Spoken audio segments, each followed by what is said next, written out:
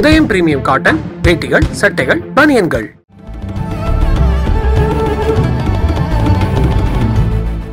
தோழர் தா பாண்டியன் என்றாலே தலை தாழாத பாண்டியன் என்றுதான் பொருள். எப்போதும் யாருக்கும் எந்த சூழ்நிலையிலும் அஞ்சாத பாண்டியனாகத்தான் அவர் வாழ்ந்திருக்கிறார். இங்கே எல்லோரும் குறிப்பிட்டு சொன்னார்கள். பிப்ரவரி மாதத்தில் கடந்த பிப்ரவரி மாதத்தில் திருச்சியில் நடைபெற்ற மன்னிக்க மதுரையில் நடைபெற்ற இந்திய கம்யூனிஸ்ட் கட்சியினுடைய மாநில மாநாடு. அந்த மாநாட்டில் தா. பாண்டியன் அவர்கள் ஆற்றியிருக்கக்கூடிய உரையை எல்லோரும் தவறாமல் சுட்டிக்காட்டி அந்த மாநாட்டில் நானும் பங்கேற்றேன். அந்த மாநாட்டிலே பங்கேற்று நிறைவுரை ஆற்றக்கூடிய வாய்ப்பு எனக்கு கிடைத்தது. அந்த மேடைகளை பேசுகிற போது சோவியத் ஸ்டாலின் இல்லாமல் கம்யூனிஸ்ட் தத்துவம் எப்படி இருக்க முடியாதோ அதே போல் இந்த ஸ்டாலின் இல்லாமல் கம்யூனிஸ்ட் மாநாடு நடத்த முடியாது என்கிற உணர்வோடு இந்த மாநாட்டிற்கு என்னை அழைத்திருக்கிறார்கள். அந்த அழைப்பை ஏற்று நானும் அதில் பங்கேற்று பேசியிருக்கிறேன். திராவிட முன்னேற்ற கழகத்திற்கும் இந்திய கம்யூனிஸ்ட் கட்சிக்கும் இருக்கக்கூடிய நட்போ அது வெறும் நட்போ தோழமையை மட்டுமல்ல. நாம் ஒரே குடும்பம். அதுவும் சாதாரண குடும்பம் அல்ல கொள்கை குடும்பம். அந்த உணர்வோடு தான் நான் அதில் பேசினேன். அத்தகைய பாச உணர்வோடு நெஞ்சிலே நிலைநிறுத்தி நான் அந்த மாநாட்டிலே உரையாற்றியிருக்கிறேன். இந்த உணர்வு என்பது இன்று நேற்று ஏற்பட்ட உணர்வு அல்ல. ரெண்டு இயக்கங்களும் தோன்றிய காலத்திலிருந்து உருவான உணர்வு என்று நான் அந்த மாநாட்டிலே குறிப்பிட்டு சொன்னேன். அதோடு பாசிச பாஜகவுக்கும் அடிமை அதிமுகவுக்கும் பாடம் புகட்டக்கூடிய தேர்தல் வர இருக்கக்கூடிய தேர்தல் என்று குறிப்பிட்டு சொன்னேன். நம்முடைய ஆசிரியர் அவர்கள் இங்கே பேசுகிற போது குறிப்பிட்டு சொன்னார். இது படம் மட்டுமல்ல பாடம் என்றார். ஆக இந்த பாடம் இந்த பாடத்தை ஏற்கனவே தமிழகத்து மக்கள் புகட்டி விட்டார்கள். ஆனால் இந்திய அளவிலே இந்த பாடத்தை நாம் யாருக்கு புகட்ட வேண்டுமோ அவர்களுக்கு புகட்டிட வேண்டும் என்று பாடமாக இருக்கக்கூடிய இந்த படத்தை திறந்து வைத்திருக்கக்கூடிய இந்த நிகழ்ச்சி அத்தனை பேரும் உறுதி எடுத்துக்கொள்ள வேண்டும் என்று நான் கேட்டுக்கொள்ள கடமைப்பட்டிருக்கிறேன்.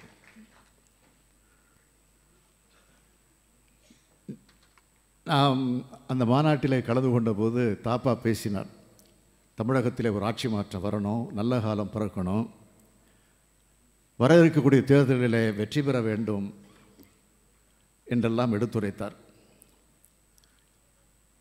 ஆனால் இன்றைக்கு வெற்றி பெற்றிருக்கிறோம்.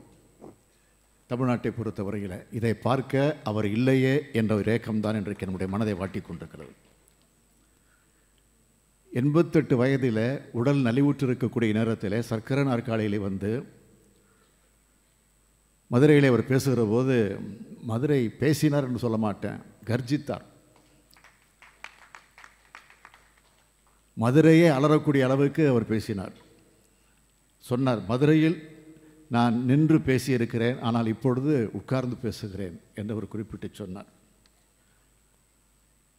இடுப்பு எலும்பு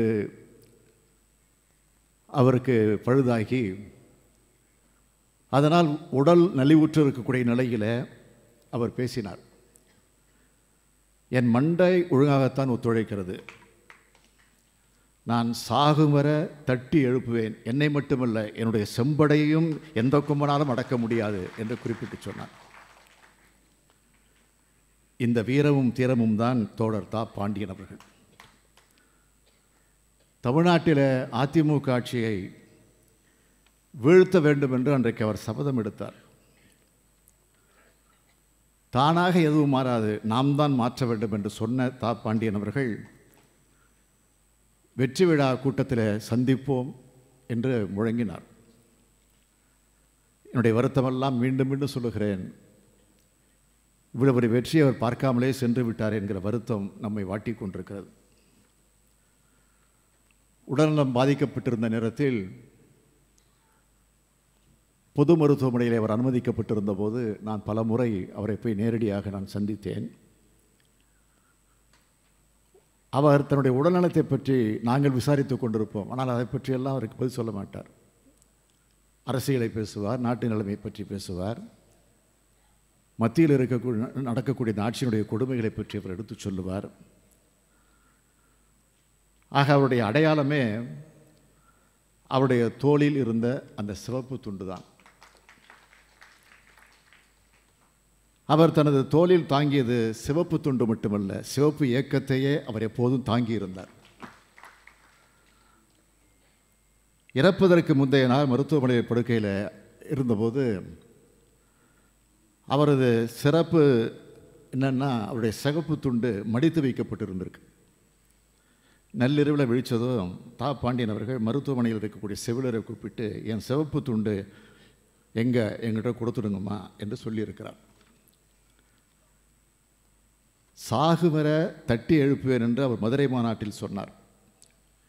என்னை பொறுத்த வரைக்கும் மரணத்துக்கு பிறகும் தட்டி எழுப்பும் மனிதராக தொடர் பாண்டியன் அவர்கள் திறந்து கொண்டிருக்கிறார்கள். அதுதான் உண்மை. தியாகம் அதுவும் பொது உடைமை தியாகத்தினுடைய இயக்கத்தினுடைய தியாகம் என்பது எடுத்துக்காட்டுன்னு சொல்லணும்னா அது தோழர் ஜீவா அவர்கள். ஜீவாவை பற்றி எல்லோரும் எல்லோரும் சொன்னாங்க. தோழர் ஜீவா அவர்கள் நாம் பார்த்தது கிடையாது. அவர் உரையை கூட நான் கேட்டது கிடையாது. தலைவர் கலைஞர் அவர்கள் அடிக்கடி எங்களிடத்தில் அதை நினைவுபடுத்தி எடுத்து சொல்லுவார். எப்படி பேசுவார் என்பதை கலைஞர் அவர்களே பேசி காட்டுவார் எங்களிடத்தில். அத்தகைய ஜீவா அவர்களால் உருவாக்கப்பட்டு ஜீவாவைப் போல் தமிழ்நாடு முழுவதும் முழங்கி வந்தவர் தான் நம்முடைய தாப்பா அவர்கள்.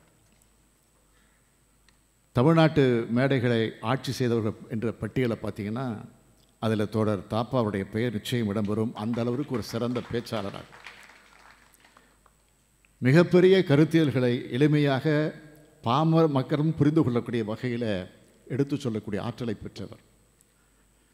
கொள்கை சார்ந்து பேசுவது என்றால் அதே போல் சீரியஸாக பேசுவது என்று இல்லாமல் நகைச்சுவையாகவும் அவர் பேசுவார். அவரது இன்னொரு தனித்தன்மை என்னன்னு கேட்டால் தலைவர் கலைஞர் அவர்களைப் போல அரசியல் மட்டுமில்லாமல் இலக்கியத்தையும் இணைத்து ரெண்டிலும் பயணித்தவர் நம்முடைய தோழர் தாப்பா அவர்கள். தோழர் ஜீவா அவர்கள் கலை இலக்கிய பெருமன்றம் தொடங்கியப்போ தோழர் தாப்பா அவர்களை பொதுச் செயலாளராக நியமித்தார்கள். அத்தகைய இலக்கிய ஆளுமையும் தோழர் தாப்பா அவர்கள் இருந்திருக்கிறார்கள். அரசியல் மேடைகளைப் போலவே இலக்கிய மேடைகளிலும் வலம் வந்தவர் நம்முடைய தாப்பா அவர்கள். மேடைகளில் பேசுவது போலவும் எழுத்துலகத்திலும் முன்வந்தவர் நம்முடைய தாப்பா அவர்கள். சொந்த கட்சியில் இருக்கக்கூடிய கொள்கை முரண்பாடுகளை அவர் சுட்டி காட்டுவதற்கு என்றைக்கும் தயங்கியது கிடையாது. ஜனசக்தி இதழில் சவுக்கடி என்ற தலைப்பில் அவர் எழுதிய கடைசி பக்கம் அனைவராலும் விரும்பி படிக்கப்படக்கூடிய பகுதியாக இருந்திருக்கு. இப்படி நித்தமும் எழுதியும் பேசியும் போராடியும் வாதாடியும் வலம் வந்தவராக நம்முடைய தோடர் தாப்பா அவர்கள் விளங்கியிருக்கிறார்கள். தோடர் தாப்பா அவர்களது படத்திருப்பு புகழஞ்சலி கூட்டத்தை இந்த பெரியார் திடலில் ஏற்பாடு செஞ்சிருப்பது மிக மிக பொருத்தம். இறுதி காலத்தில் அவர் அடிக்கடி பெரியார் திடல் கூட்டங்களில் தான் அவர் கலந்து கொண்டிருக்கிறார். அதைத்தான் ஆசிரியர் விளங்கி குறிப்பிட்டு சொன்னார். தந்தை பெரியார் அவர்களை பொது உடைமை கட்சியினரை விமர்சித்த காலம் ஒன்று உண்டு. அந்த காலத்தில் கூட தந்தை பெரியாரை புகழ்ந்து பேசி வந்தவர் தான் நம்முடைய தோழர் தாப்பா அவர்கள். பெரியாருக்கு தந்தை என்ற பட்டம் ஏன் என்பதற்கு யாரும் சொல்லாத விளக்கத்தை சொன்னவர் நம்முடைய தோழர் தாப்பா அவர்கள். தன் சொத்தையும் தன் குடும்பத்தையும் கழக சொத்தையும் சேர்த்து தாய் தந்தை இல்லாத பிள்ளைகளை தத்தெடுத்து வளர்த்து அந்த பிள்ளைகளுக்கு தன்னுடைய இனிஷியலை கொடுத்து அடையாளம் கொடுத்து படிக்க வைத்து பட்டம் பெற வைத்து அந்த பிள்ளைகளுக்கு திருமணம் செஞ்சு வைக்கக்கூடிய ஒரு மனிதரை தந்தை என்று சொல்லாமல் யாரை தந்தை என்று சொல்வது என்று கேட்டவர் தாப்பா அவர்கள். அதனால்தான் அவருடைய படத்திறப்பு பெரியார் திடலில் நடப்பது பொருத்தமானது என்று நான் குறிப்பிட்டு காட்டியிருக்கிறேன். திராவிட இயக்கமும் பொது இயக்கமும் இணைந்து பயணிக்க வேண்டும் என்று தோழர் தாப்பா அவர்கள் வலியுறுத்தி வந்தார்கள்.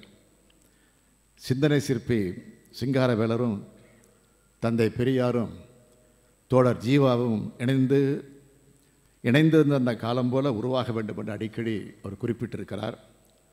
அத்தகைய உணர்வோடு தான் தலைவர் கலைஞர் அவர்களோடு தோழர் தா. பாண்டியன் அவர்கள் நட்பு கொண்டிருந்தார்கள். நாமும் அப்படித்தான் செயல்பட்டு வருகிறோம்.